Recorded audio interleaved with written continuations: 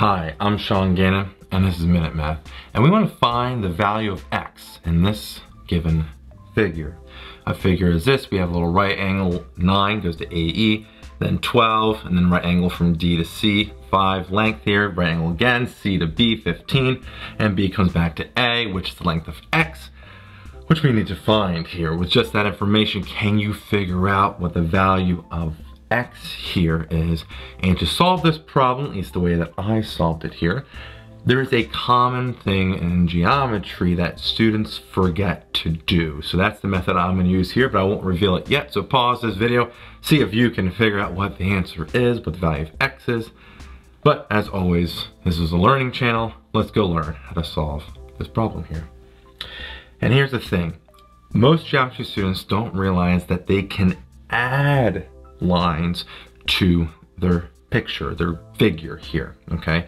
You don't just think in a little box here of what's given. You can create things, things that are true within the problem that can help you out, okay?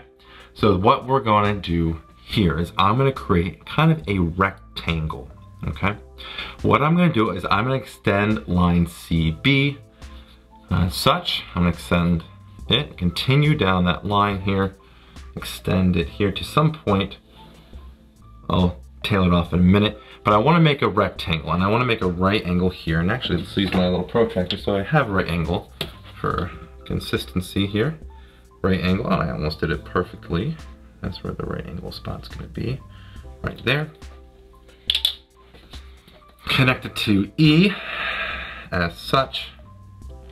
And I'm drawing it so that we have a right angle here and here we have rectangles, call this value f. What do we know about, well, our new rectangle? FC, since it's a rectangle, FC has the length of ED. They're the same length, so we have a 12 right here. DC, same length as EF, we have a 5. That's good to know. Now, with all that information here, what, what, what can we get? Well, we know the length of FB is going to be 12 plus 15. So FB, that overall length added together is a 27. Okay. How does that help us get this? It's not like this became one big triangle. Let's keep drawing lines. And just so you can see it, I'll use, I'll use pink here. I'm gonna connect E to B here. And now here we have to do another line, okay?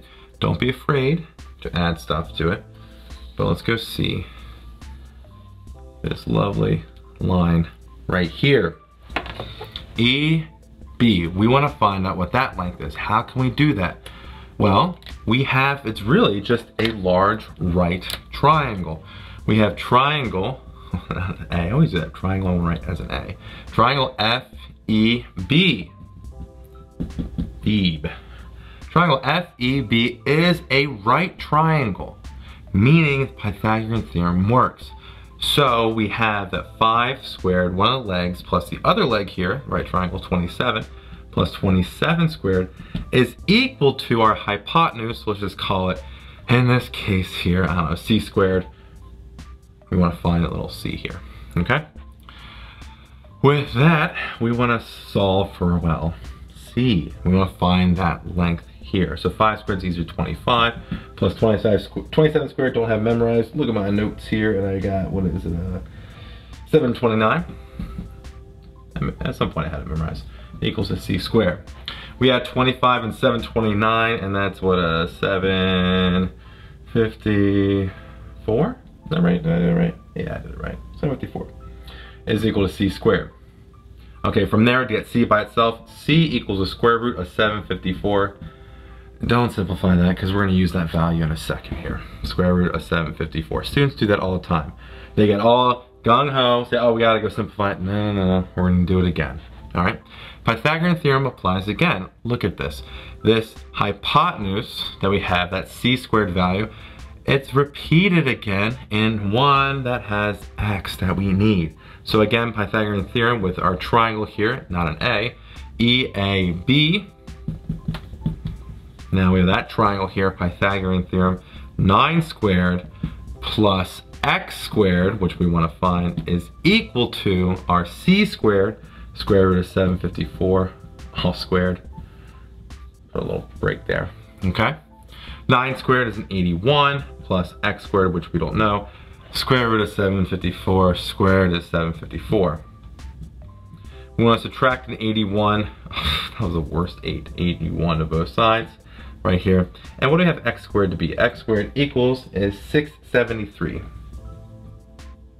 From there, I'm going to take that x is equal to the square root of 673.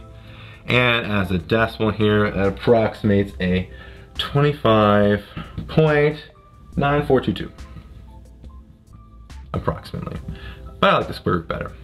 Anyway, so there we got it. X equals the square root of 673. Not as neat of an answer as you maybe wanted here, but hey, we got the exact answer or the approximate if we want. Was this what you got? If it was, way to go. If not, well, I'm sorry. Hopefully you learned something here. But if you got this a different way, that's what I really want to know. If you can write out how you got this a different way, that'd be awesome. So anyway, as always, like the video, comment on this video, share this video here, and subscribe to our YouTube channel. Uh, this helps us make more of these fun math videos for you and for everyone else in the YouTube world. So, as always here, thanks for watching.